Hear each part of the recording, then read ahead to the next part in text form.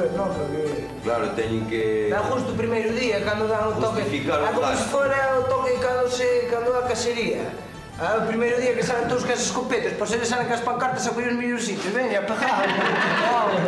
ah, unha contra parecida. A campaña outra un gasto inútil de cartos. Polo pueblo tamén soen moitos rumores de que si queres o traballo e me votas... Tal. Eh, si é, ou non se oi polo pueblo é. Si, si, si outro acá di, aquí non se pode construir. A outro di, a mí se me botes, aquí faz un chalá. Claro. A cámara botes un cogen de oi, como tal este oi. Que se el PP, este non me deixa construir, este deixame facer un chalá. Para que teño horta logo, para tele tirada, vamos facer un chalá. A este votamos. Ao mellor iso decide máis un voto ca todo o rollo que pasou aquí do Prestín, non? Iso é aquí todo, os gallegos xa sabemos como somos pos cartiños somos, somos traballadores como en vamos a calquer parte do mundo a traballar. Por iso, ao final, sempre pasou a de sempre, que temos que coller a maleta a marchar. Coller a maleta a marchar.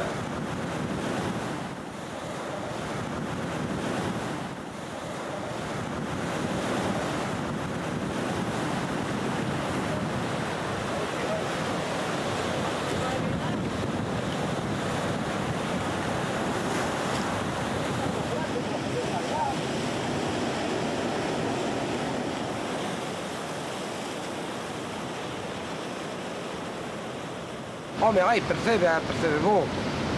Pero tampouco sabemos se vai morrer, se está para min que está algo ou bastante contaminado, porque non ten o sabor que ten que ter para min. Home, tampouco podo decir, asegurar que nos vai a facer daño ni nada que eu non son quen para dicir esas cousas. Pero non lle veixo moita cría. En sitios non se ve ou percebe que se debía de, de, de ver en realidad. Depois, lo que tiene el agua, Dios sabe qué carajo tiene. Pero tranquilos que isto isto non é para ahora, que é para largo. Es lo que hay, mira, la derecha hace su trabajo. Se lo curra, tiene dinero, nos paga, nos calla el estómago y la conciencia, como no existe, nadie no está en ningún lado, pues no hay problema. No hay problema. Eso es lo que hay. Eu non sei que pensa a xente. Eu non sei que pensa a xente porque, por desgracia, quen está gobernando en todas partes o PP. Lle hai que pedir na conta nestes, nestes casos é aos, aos que están gobernando. Pero aquí, después lo demás, cada uno va a ir a su bola. Ha ido cada uno de buitre a saltar el cadáver y al carajo. No hay otra historia, es que no hay otra historia. Y yo no veo futuro. Aquí no lo veo. Además está todo muy negro. Cuando vea que aquí estamos de manos, vamos y al carajo. El mundo es grande, ¿no, tío? Percebe está aí, penso de que está aí. Que acha que desbabarse, que teña que poñerse ben, iso pasará co tempo, un mes, dous, tres, catro, cinco, un ano, un exemplo. Pero penso de que a vida cotidiana seguirá indo igual.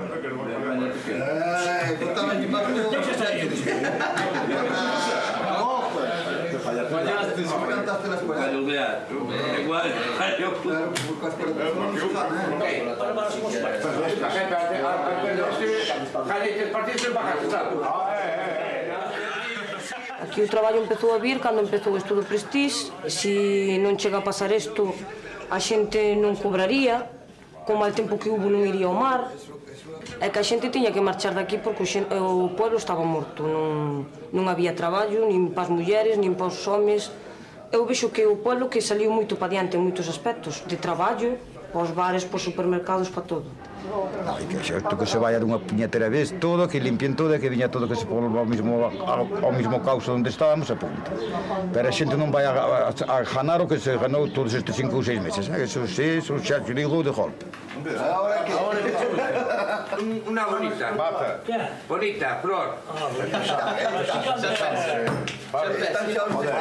Parda. Truco. Truco. Truco. Truco. Eu teño, este solo. Están ganando o seu, lógicamente, que lle dean, porque teñen que vivir. Cuidado, cuidado, cuidado. Pero polo menos agradecer o que nos fan, porque a min se ti faz un favor, eu debo agradecerche, eu debo de pagarche con outro favor. Penso eu, eh? Pero a mí dame rabia por eso solamente, que se metan contra o gobierno, que tanto este gobierno como outro calquera. Eh? E cobrando, eh, isto todo, é moito di nunca máis, deso de nunca máis, eh? isto está maldito. Eu digo que nunca máis está maldito. Evidentemente sacarlle nunca meterlle outro.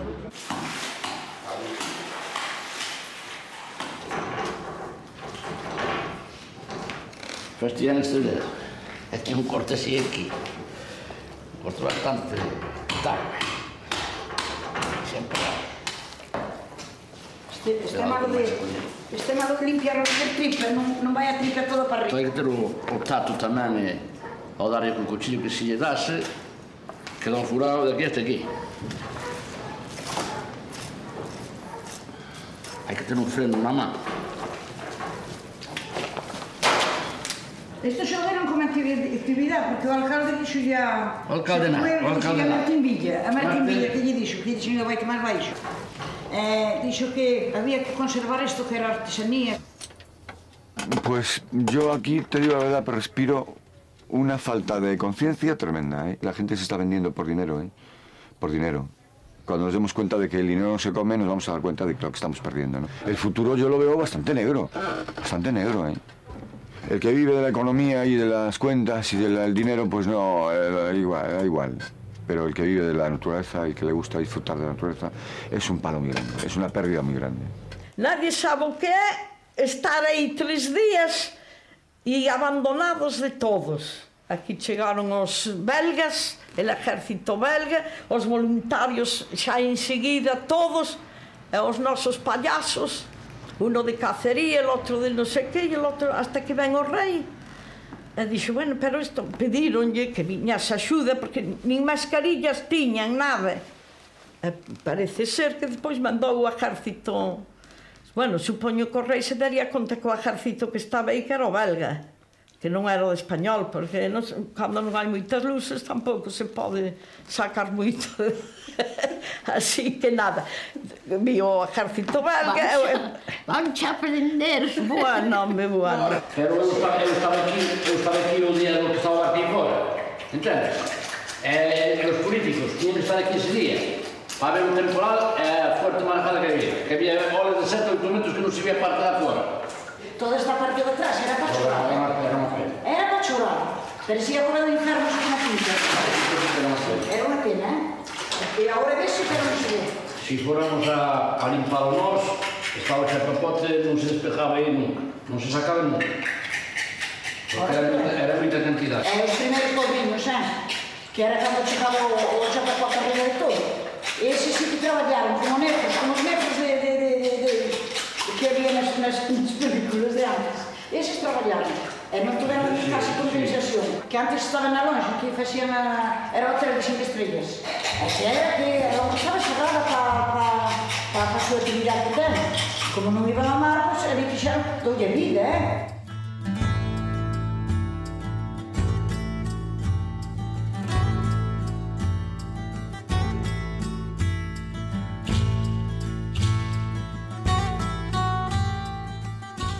eh, a bandeira do voluntariado eh, representada na súa liberdade de expresión, que son todos os carteles. Ou unha das bandeiras estaba nesta lonxa, non? Eh, de feito, para min, eh, e eh, para moitos deles, este é seu santuario, non? Porque aquí se expresaron con libertade, non? Para min, isto representou un maio de 68. Foi un movimento social brutal. É a xente que reacciona ante a xusticia. E, de feito, isto, todo este movimento, eu creo que vai ter repercusión no, non só nestas eleccións, non, sino nas vindeiras e nas próximas. Non? Eu creo que isto tuvo tanta repercusión porque mm, tocou a alma de Galicia. Non? Galicia pesca. Non somos maestros do mar. Eh, e os nosos libros están escritos eh, alá onde chegan os nosos barcos. Non?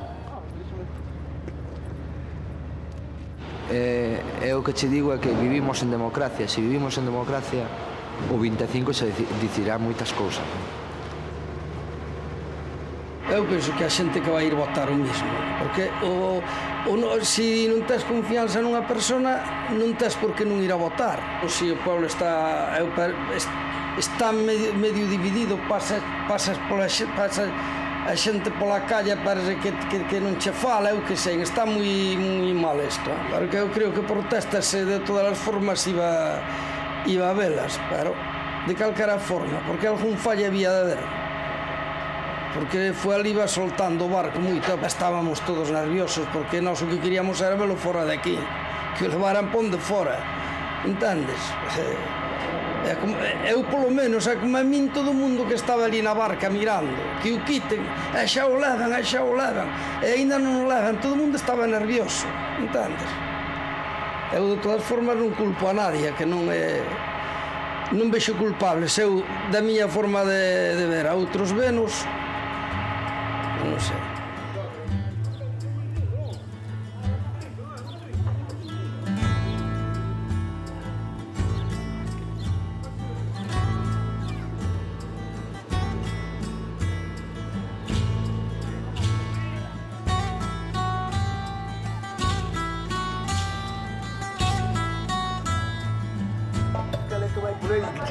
Ahora, ahora, él se puede preguntar de la ya, ya. cambiato. Quando potevano vedere, ora non potevano. Ora ah, stiamo qui per le squadre. Questa misera io sempre provare quando marcavo gol su Medellin. Sempre per tutta. Voglio dirci una cosa. Todo deportivista que pase passa de 40 anos para arriba, o que era malediccia, si para, para un deportivo, eu noi chamo de cambio a società. Deportivamente non son nada para mí. Porque tengo un amor a un partido, tengo un amor a un partido a un equipo, claro. A tua idade, a tua idade, Queres do Barcelona, teu pai do Madrid. Pois, pero hai moitos, hai moitos que non saben que hai nin esquerda nin dereita. O caso que moita xente non o entende. E xa dedican a ser a tua vida, está claro. Marte. Debíamos de ser... Con os nos morros, seguirás sendo o mismo. A quen lle votastes ti? Eu votei unhas cantas veces, pero como se non votara. Votamos para que non din que o voto ese nulo vai pouca jarra. Vale, para que non máis pé, votamos para cargar. Y todos esos días que vienen hasta el 25 eh, es como, co- como matar con un martillo a la gente que todo está bien, que Galicia está como nunca, que va a ser eh, Galicia de, el líder casi de, de las provincias y así. Y eh, eso, eso va a tener efectos porque con mi experiencia y conociendo eh, casi, bueno, la mayoría de familias en Muxía, que no va, se va a cambiar a, a- a pesar de tanto de la guerra de Irak, de, de Prestige, que, que no, creo ya que no se va a cambiar mucho.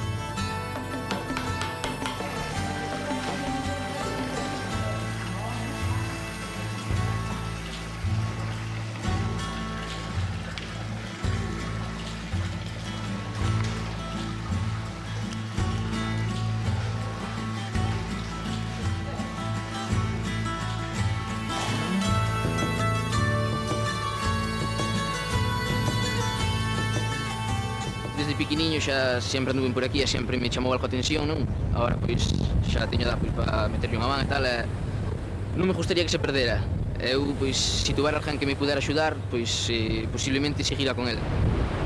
Oxe xa non, xa, xa ando con cuidado, xa teño medo a mí pasar por un pau que está así sospechoso, xa van con cuidado, non?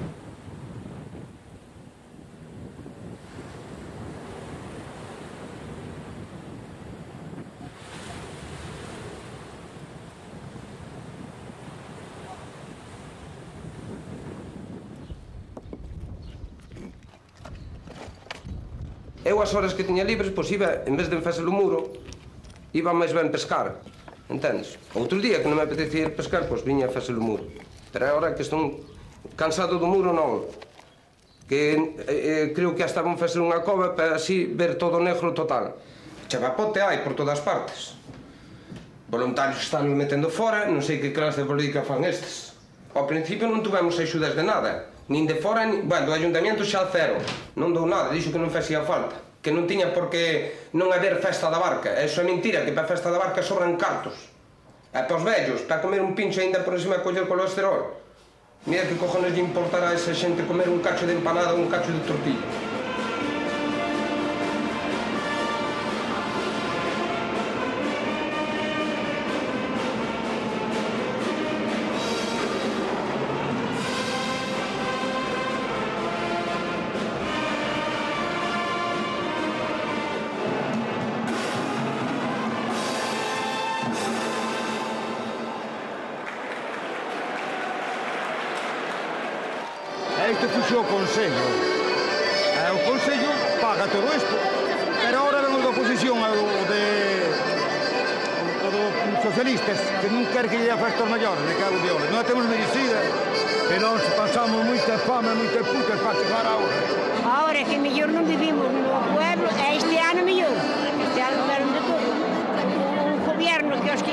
niños de 15 años que llegaron a gobierno.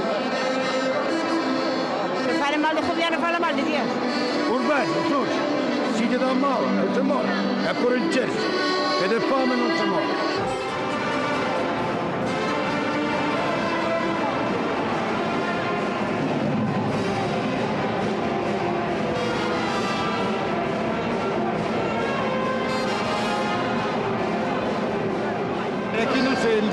populares invitas a todos os partidos. Eh? O que veña, non se, aquí non se ten discriminación por nada. O que quer vir ben, o que non quer vir, porque xa se sabe máis que son outro partido, pois non veño.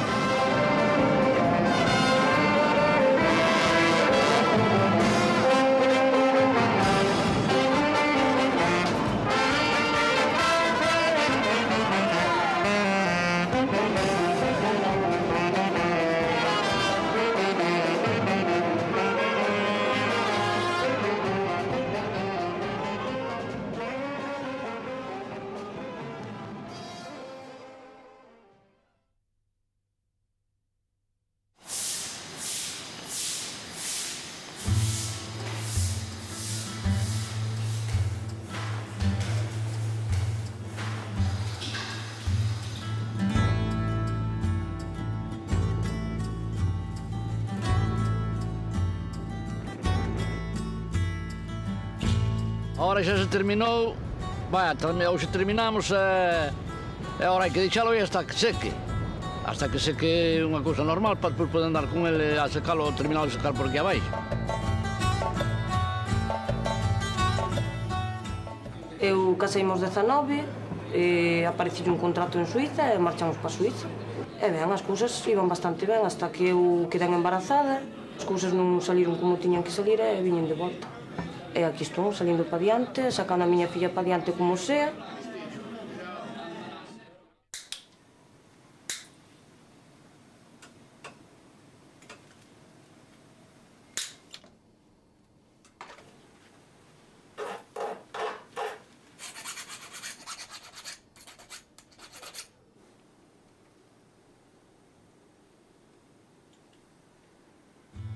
A min encantan as protestas Eu debía ser protestante en vez de católica. Gustame moito a protesta. Ah, pois nós tivemos en Santiago, íbamos a todas as manifesta a todas as que había, as manifestacións, eh, as eh, reunións que había polas mañáns de noite cunhas velas. O que máis nos fastidiaba era cando empezaban a facer como que era guerra e había que, que poñerse así todo. de rodillas, ese era o peor, que despois non había que nos levantasen, pero despois fuimos a todas, eu gustame moitas protestas, ademais creo que debe haber protestas, porque senón volvemos aos tempos de sempre, de cabeza agachada, nada máis.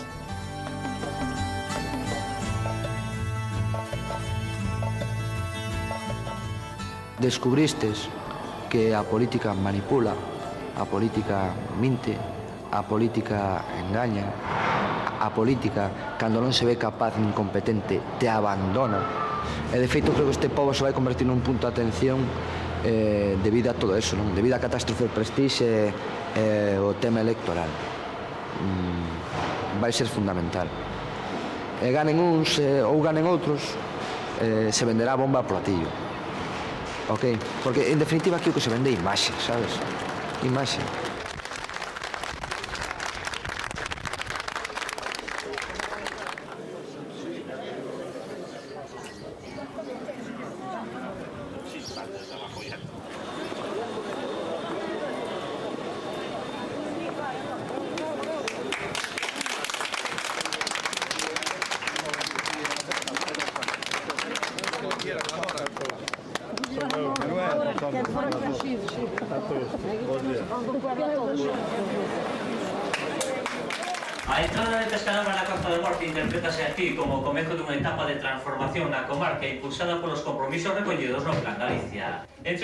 beneficios para a zona, a creación da factoría de Pescanova en Turiñán vai supoñer 450 postos de traballo directos. Aí din que vayan as hectáreas esas, a ver se si é verdade que vayan as hectáreas, aquí nos dan traballo, a ver se si é verdade, a ver se si, si collen algún, algún dos que estamos aquí. Pero que o cumplan, se o están dicindo teño que cumplir, non, vai quedar en... Que non vai a facer as hectáreas, a mí xente de, de Francia, a de por aí a de, a de Pontevedra, a de Madrid, para traballar nas hectáreas. Como pasa en moitas hectáreas. Que hai dous do pueblo, dous son da lado Quinto Carallo, a un par delas son unha de Francia e outra de, de, de Irlanda, por aí. Que poñen xente do pueblo, non que poñen xente de fora. y se, se nos está eh, eh, cambiando la visión hacia atrás, que ahora de puta madre, tranquilos, que os va a venir muy bien, que ahora vamos a traer industrias, puestos de trabajo, tapan el- lo, lo que había que solucionar y por encima nos van a, a traer más industria, más destrucción, más, más cemento, ¿eh? porque los, los presupuestos, los, el dinero que viene aquí, el presupuesto que van a invertir en toda la costa norte, para tapar las bocas, para tapar la- las conciencias, nos van a traer más cemento, más industria, nos van a joder más, más la tierra. Cuidado cómo hacemos, vamos a ver qué, qué vamos a hacer, ¿no? Porque es que, eh, es que son decisiones que no, se, no tienen retroceso. El que tú pongas una nave industrial en un sitio virgen, verde, con un río que pasa y vas a destrozarlo, no tiene vuelta atrás, eh, cuidado. A ver qué vais a hacer, porque si vais a poner ahí eso, después no os arrepintáis. Os ecologistas o que vían de, de metelos adentro, metelos aí a, Dentro no mar, a, a mollo, os ecologistas. É un medio de vida para vivir, como os de comisións obreiros. Punta que vos, doi máis, máis detalle nada mais. É uma bebida para beber. Para beber. Apoio contra todos os obstáculos. Mas en vez de ayudar, les ayudan.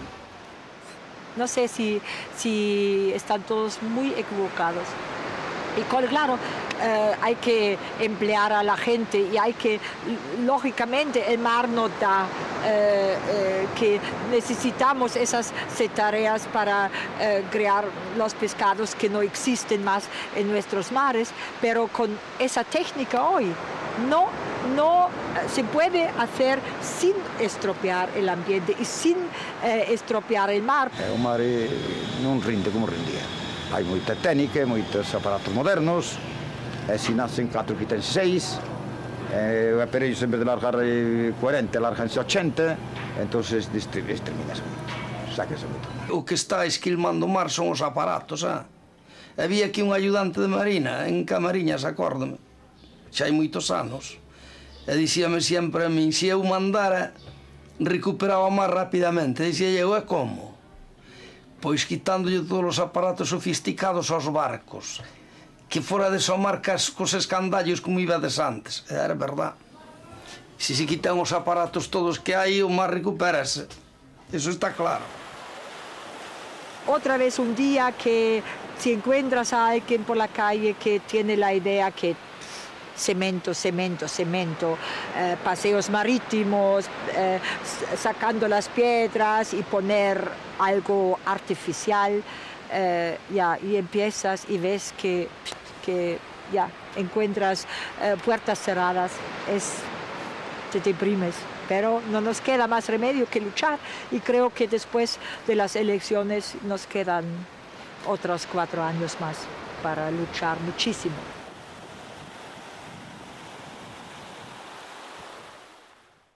muito bem fora, é, costa moito traballo estar fora. Pero ahora se si a mí me deran a elegir de volver a marchar, marcharía outra vez, eh? Marcharía ca a miña nena, nun sitio onde houbera traballo, onde... Por dicir algo, 10 horas de traballo, que xa me parecen bastantes. É que se non chega a ser pola miña nai, non vexo a nena en todo o día.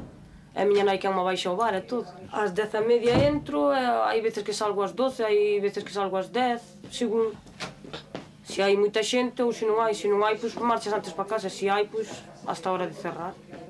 É porque teño uns jefes que, bueno, son bastante bons, e non me din nada, ni me poñen mala cara para nada. Son xente xóvenes como a nosa e comprenden, entendes o que hai.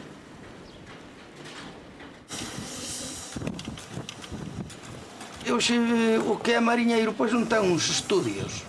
A día ah, ese que é, pois, pois non há nadie.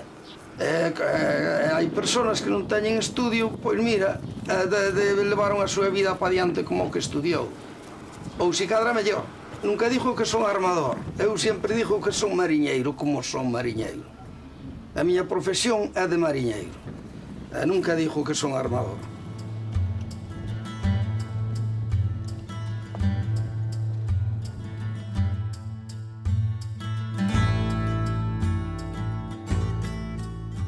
aquí sempre fuimos atrasados en todo, en todo. Vamos sempre renqueando detrás do que poñen os demais. Entonces, sí, se ali un fistarra e aquilo, ai, nós tamén, se que, ai, nós tamén, pero nunca de decidirse así nada. Fomos moi, somos así moi conformistas. Poniente daba, dentro de Poniente daba tarde. Pero ora están vendo semblante cor do noroeste.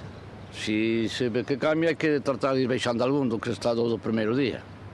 Guardando a la... Si se ve que poñen a la cara, si non... Eh, este xa non lle cuño tan boa cura... Coa... Mira, este, este, que, este apareceu ayer aquí tirado. Ben, é un gato roído. Eh? Rompilla trinca.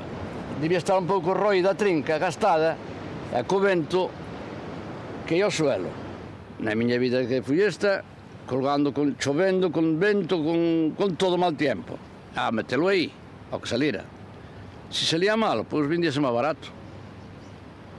Pero sempre, sempre se vendía, nunca quedaba aí.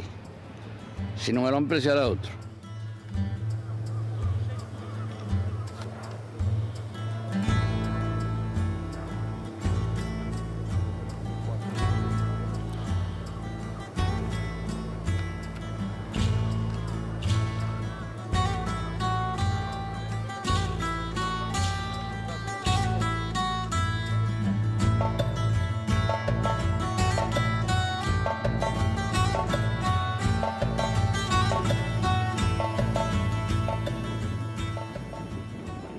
Soy partidario de dejar las zonas, dejarlas como están, porque es lo bonito, vamos.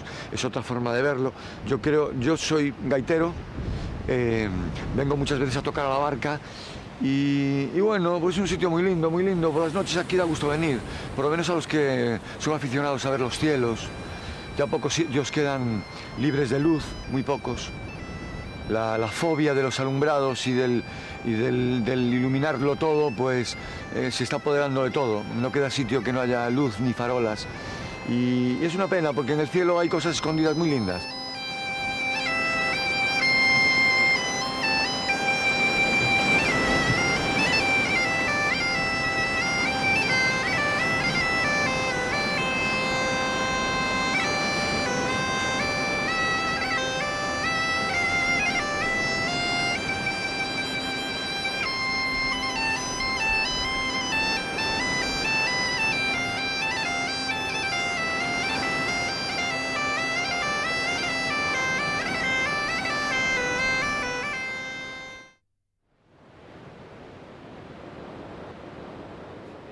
a mellor na casa ali sentado mirando a televisión, pero é un formigueiro que teño na, no corpo, que non, non paro.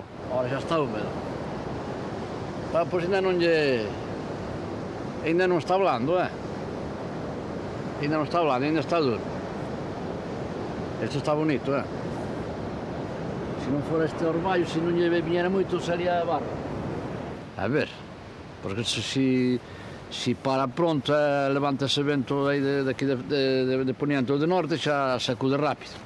Sacude rápido logo seco outra vez. A luna non mellor como ten forza igual de noite despeja, entendes? Para, igual para, clarea.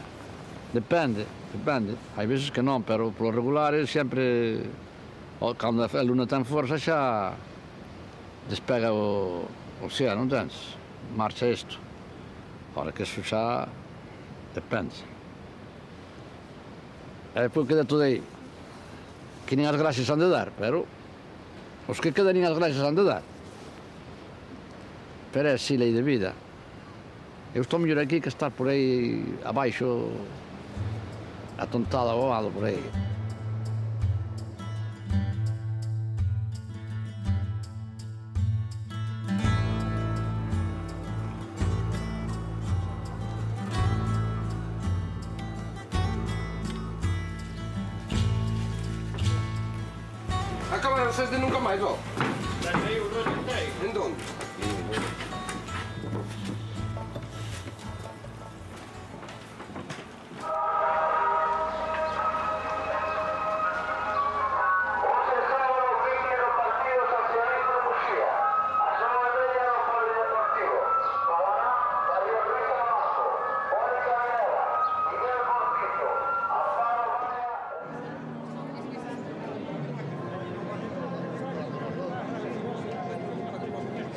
Estas eleccións que van vir ahora a Moxía teñen moito que pensar e moito que mirar por son as eleccións que foron de moitas moita casicada moitas recomendacións non, home, eu pode ser como van a quedar eh? está isto moi implicado non, porque a mí que me veña mañán Rajoy Raja haguem d'alejar del gobierno.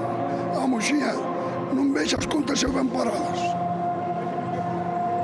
Besos muy mal paradas, Porque nunca ven a este pueblo de cuatro miserables habitantes. Es porque van mañana. Por culpa del petrolero.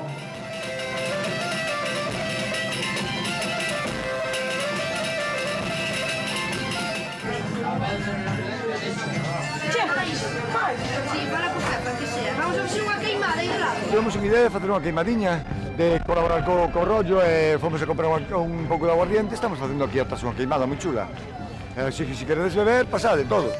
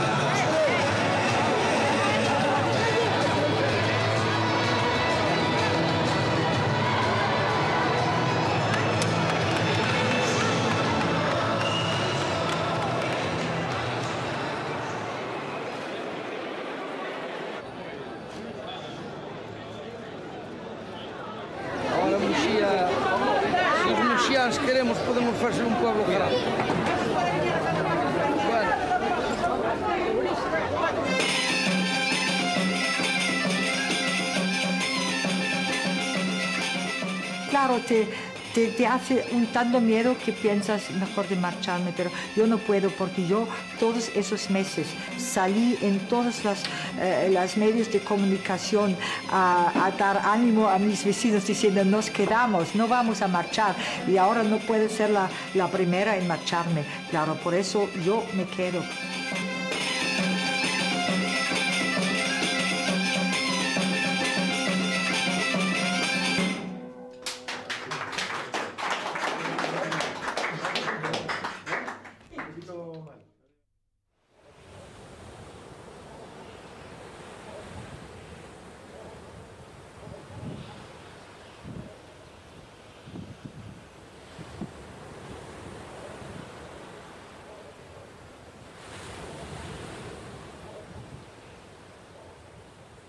son afín ao Partido Popular. Que o diga así claramente. Porque a min daño, fíxome daño ahora. Fíxome daño ahora. Porque moito falar, moito falar e depois actuar nada. Pero con todo eso, as miñas ideas son as miñas ideas, non. Fallos hai en todos, en todos, en todos, eh, en todos os gobiernos hai fallos, que non son eh, perfectos. Ahora si houve algún fallo, pode haber algún fallo, pero en asunto de, de portarse ca, que os trabalhadores isso portaram-se bem. Isso não é que discutir. A gente está satisfeita, a, a maioria. a mesmo o alcalde disse-me no primeiro dia que sim, que aqui, a mim que me haviam de indenizar com algo, que me haviam de dar isso de tal. Sempre que falei com ele, sempre me disse. Pero isso, eleva-me bem com ele, pero isso, para mim, não, já não me convence. Não me convence. E a mellor ainda lle vão votar. Porque leo me ben con ele. Eu de política, como non entendo, voto pola persona. Como, como é cada persona, eu que sei, moitas cousas. Non, porque eu penso que aquí eu levo desde os nove anos e o futuro se igual antes. Nada, nada e nada. Pois, como non baidan as cousas mellor de, da hora en diante, se non dan traballo ahora pa xente xoven, xa non dan nunca. Ven pa aquí, ven. Porque a xente vela moi contenta, porque non vai ao mar, porque están cobrando as axudas igual e hai cartos na casa, hubo mal tempo e non foron ao mar e cobraban igual. Trai, ven. Un besito. Ah, un besito. Ola. Ah. Porque a xente pensa que por estar cobrando a mellor 200.000 pesetas ao mes, que xa está todo arreglado e o peor ainda non viu, eh? Penso eu. Creo que o peor que ainda está por vir.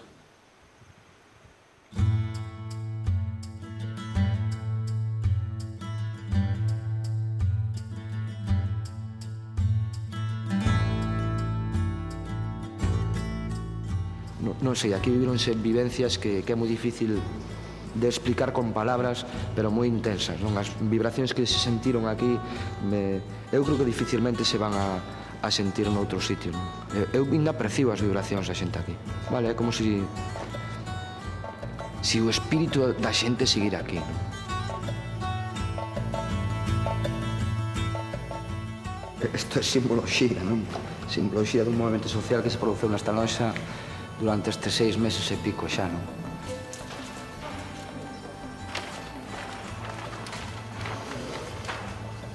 Unha das bandeiras de todo este movimento. Unha.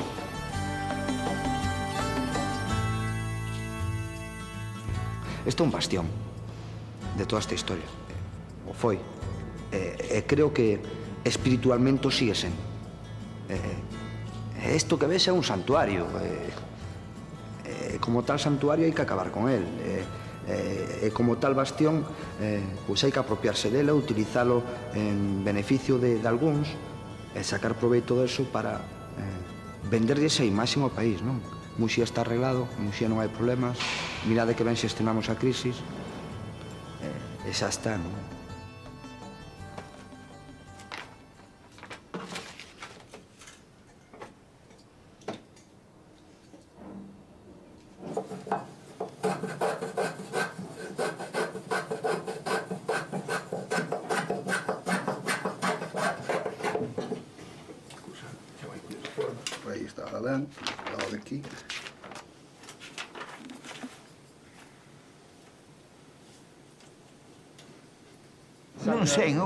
que o Inqui viña fraca, eh? Primeiro o Inqui viña a inaugurar ese folcloriño aí que fixeron ese Seguel, pero depois hai comentarios de que viña a inaugurar a lonja. É unha cousa rara que xa hai máis dun ano que se vende, que estía vendendo ella que había de ora a hora, é verdade? Non, que veña hora de, da lonja era para ver se si iba, no, que dicían que iba a inaugurar a lonja, mala porcaría esa que non se sabe ainda ben para que é. E agora deron orden de que non deixaran entrar a inaugurar nada, que non tiñan por que inaugurar nada. Xa eu como patrón maior teño que dicir que a loxa non, non se ven a inaugurar, a loxa posto que xa está en, en funcionamento desde fai tempo e o que se ven a inaugurar pois, é a nave que se fixo para, para máis que nada para pertrechos da, da, da propia cofradía.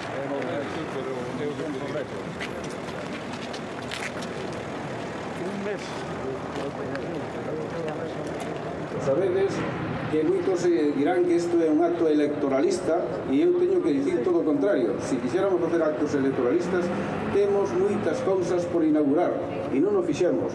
Este é un percorrido que fai o señor presidente Sí, eso- que nos acompaña Eso, de hoxe, bueno, son los últimos días de elección, pero si viene para inaugurar para más o menos una un caseta para que vean perros, eso es que decir de gilipollas para mí. estamos a traballar exactamente igual, que sean eleccións ou que non señen eleccións.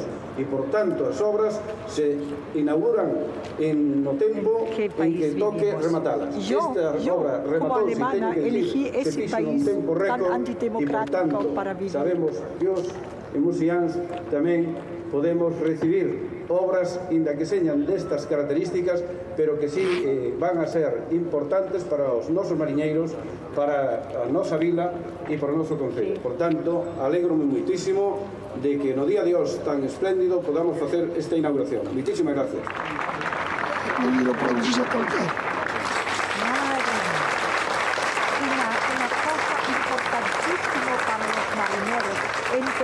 quizás 50 pares de eh, botas de goma y nada más. Señor alcalde. Son cocho, va con cocho, non é? Eso para que nos valanos. Que carallo valés? Y seguro que en, en un mes este trastro entra ya lo que la basura. Claro, que se venga a inaugurar una cosa que valga. No, está bien, pero Eso es nuestra política, nuestro gobierno. Hala, retirada.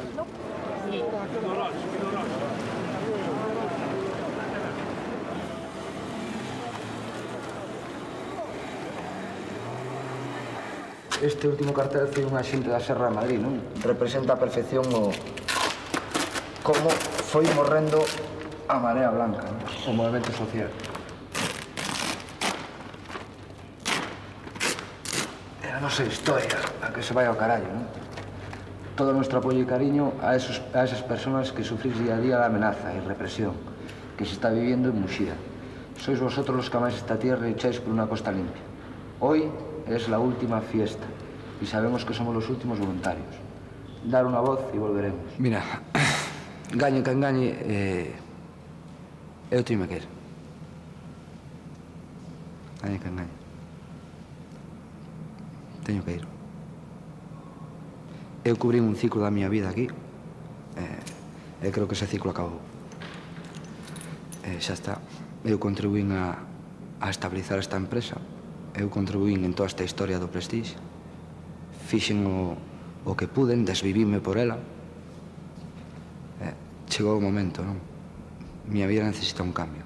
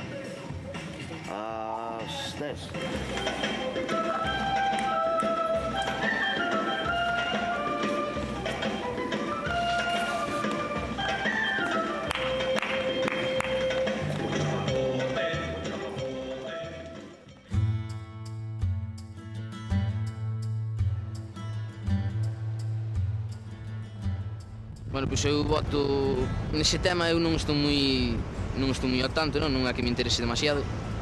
Normalmente pois é a segunda vez que vou votar, non, pero eh, consulto na casa, sabes? A que máis lle poda, non sei, na miña casa, a que máis lle favorezca, pois pois países que a eles pois eh, non, a min, por exemplo, ahora non me, non me nin me vai nin me vai moito, como a quen di, non.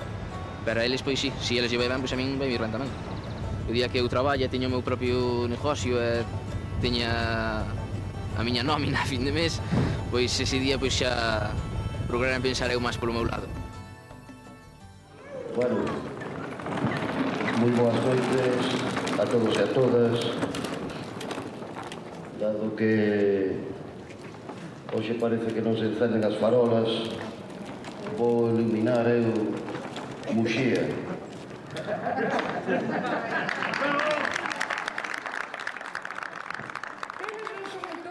A política é iso, a facer as cousas ben, pola miña parte. Se goberne o PP, o goberne o Bloque Nacionalista ou o PSOE. Pero bueno, que o goberne, que o goberne, joder, que mire pola xente, non? Unha mínima de respeto. Está ben, non? Ahora esperemos que donde máis xente haxa o día 25 nas urnas, non? A ver o que pasa. Ahora xa... Resumo todo nunha frase. Eh, gracias por vir a xente de conciencia limpia. Os únicos que teñen a conciencia limpia. Veña.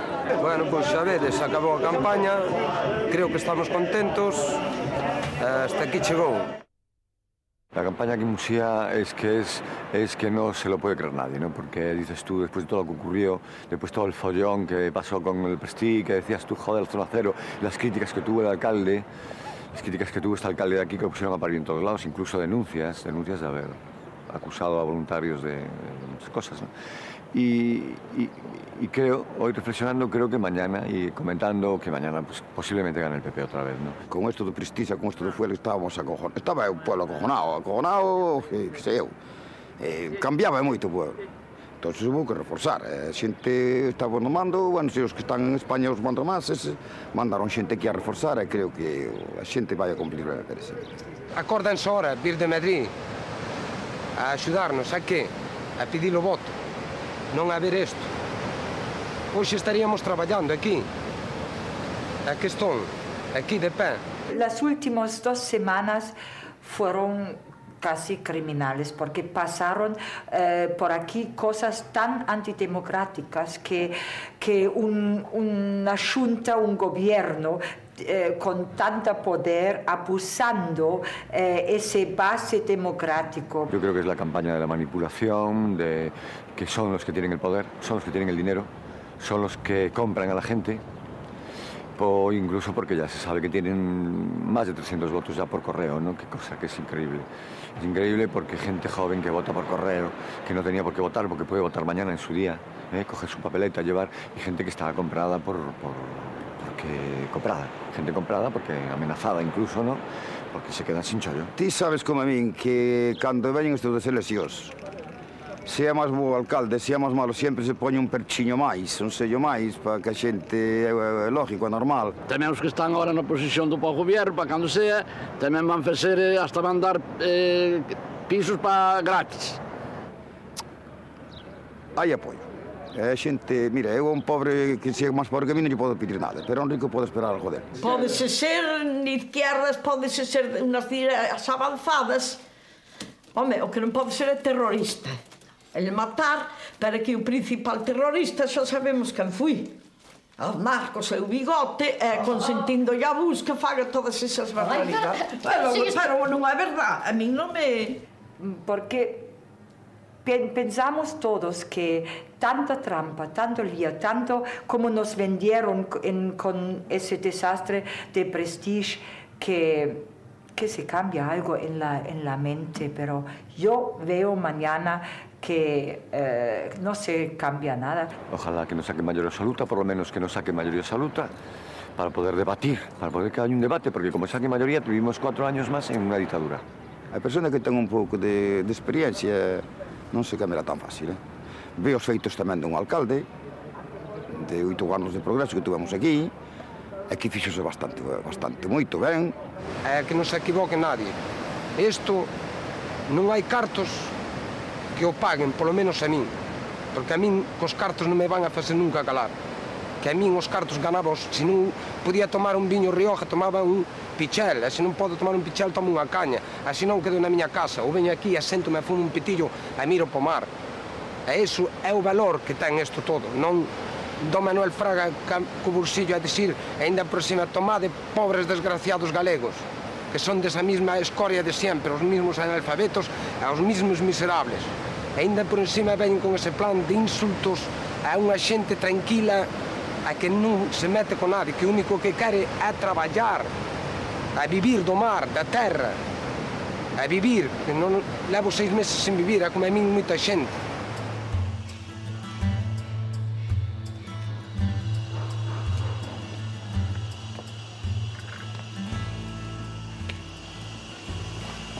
Lucho. ¿Sabe qué? Eh, aquí te traigo esto. Para que eu pueda seguir, para que te pague un poquillo de dolor. dor. Peguémonos aquí en nuestro aparato. Vamos a botar ahí, ya. Ya para lá. Para lá, não? Não. Onde é voltar?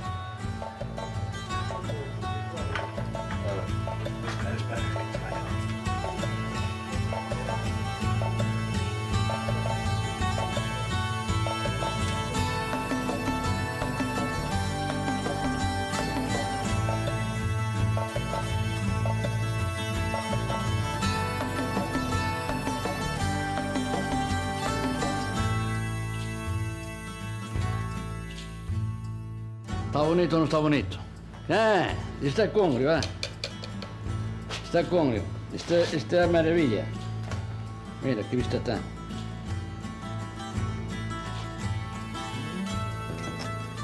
Quixeron impoñer eh, sanidade outros, eh, outros métodos, outros métodos eh, que non teñen nin, nin idea do que é isto, que isto é unha cousa artesanal. E se usted non fai unha cousa artesanal como a artesanía, é a cousa que vende atrás xa de antigo. Si é artesanía, se é a cambia, se non é artesanía. Sí, home, antes había moita clientela. Eh, había moito, moito quen eh, comía. Ahora non, que ahora a xente que comía antes eh, se foi morrendo e a xente nova estaba a bocadillo.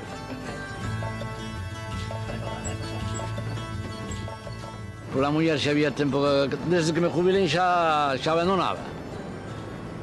Pero este ano creo que será o último.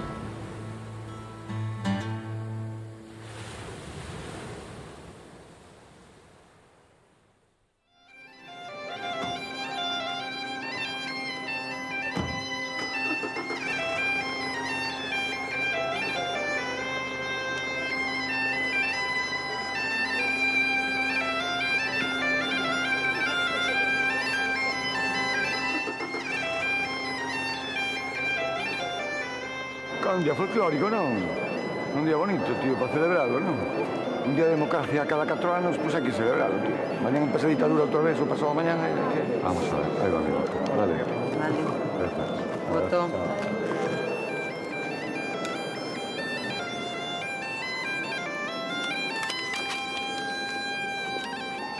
Mi razón de estar de luto hoy es por todo lo que pasó en ese pueblo los seis meses pasados. Hay que dejar hablar a la gente, decir su opinión, de no presionarles, de no comprarles y de dejarles vivir y luchar por nuestra costa de muerte que un día va a ser otra vez limpia. Gracias. Eu trouxe a Neruda. Sí, Sí. Castro Fernández, Ignacio. Yo no lo puedo meter.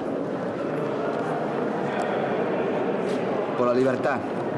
Por la libertad de expresión. María del Carmen Varela López. Votó. Elvira Varela López. Votó. Vilela Martínez Jesús Ramón. Jesús Ramón. Sí, sí, es verdad. Votó. Eleuterio Vilela Romero. Voto eu, te No, putar a tens que ti. Que dentro. mala suerte te. Entón non o voto aí.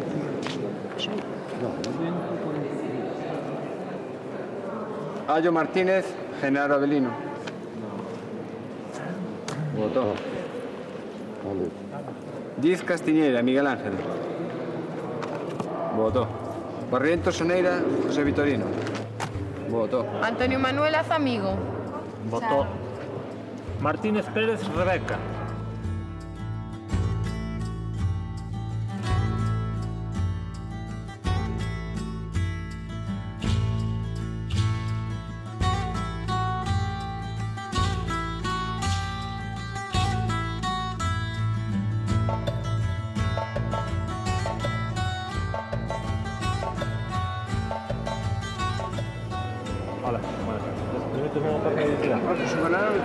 Foto canal. Si o de conducir... O canal que acabamos de chegar de Machín, eh, estaba perdido. Xa sei se tiña ou non. Pequeño Martínez, Juan José. Alias.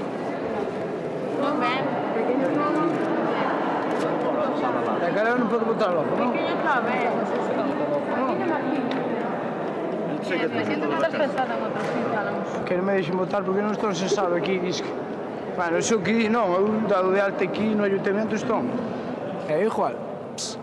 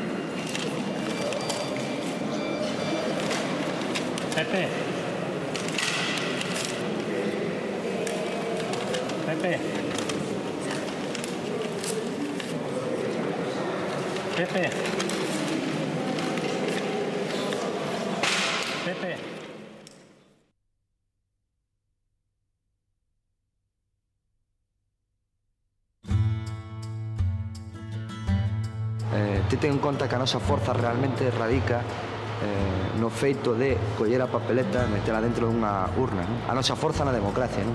porque logo os outros 4 anos non valemos para nada. E somos auténticos ceros a izquierda. Non? Pero nese momento, ese é o único momento en que nós estamos un peldaño por encima do Estado. Non?